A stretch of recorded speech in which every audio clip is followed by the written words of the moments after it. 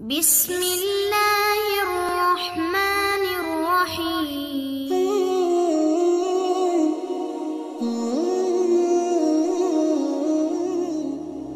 വെള്ളിയാഴ്ച ദിവസം സൂറത്തുൽ കഹഫ് പാരായണം ചെയ്യുകയാണെങ്കിൽ ആ രണ്ട് ജുമാകൾക്കിടയിലുള്ള അത്രയും പ്രകാശം അവന് ലഭിക്കും മുത്ത ഹബീബ് സല്ലല്ലാഹു അലൈഹി വസല്ലമ തങ്ങൾ പറഞ്ഞു ആരെങ്കിലും വെള്ളിയാഴ്ച ദിവസം സൂറത്തുൽ കഹഫ് പാരായണം ചെയ്താൽ അവന്റെ കാൽപാദം മുതൽ വാനോളം വരെ പ്രകാശം ഖിയാമത് നാളിൽ അവന് ലഭിക്കുന്നതായിരിക്കും.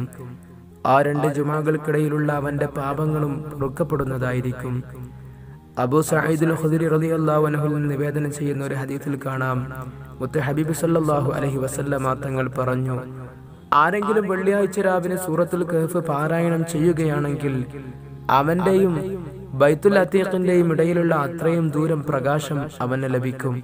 പ്രവാചകർ സല്ലല്ലാഹു അലൈഹി വസല്ലമ തങ്ങൾ പറഞ്ഞു സൂറത്തുൽ കഹഫിലെ ആദ്യ പത്ത് ആയത്തുകൾ മനഃപ്പാടമാക്കുന്നവന് ദജ്ജാലിന്റെ ഫിത്തനയിൽ നിന്ന് സുരക്ഷ ലഭിക്കുന്നതാണ്.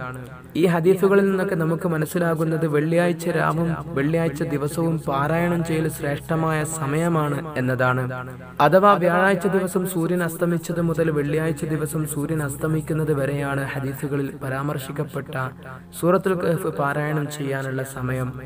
നന്മകൾ പഠിക്കാനും അത് ജീവിതത്തിൽ പകർത്താനും അള്ളാഹു സുബാനുവത്തല തൗഫീഖ് നൽകി അനുഗ്രഹിക്കട്ടെ റബ്ബന ആത്തിന ഫിദുനിയ ഹസന വഫിൽ ആഖിറത്തി ഹസനത്തും വഖിന അദാബന്നാർ അസ്സലാമു അലൈക്കും വറഹ്മത്തുള്ളാഹി വബറകാതുഹു സല്ലല്ലാഹു അലാ മുഹമ്മദ് സല്ലല്ലാഹു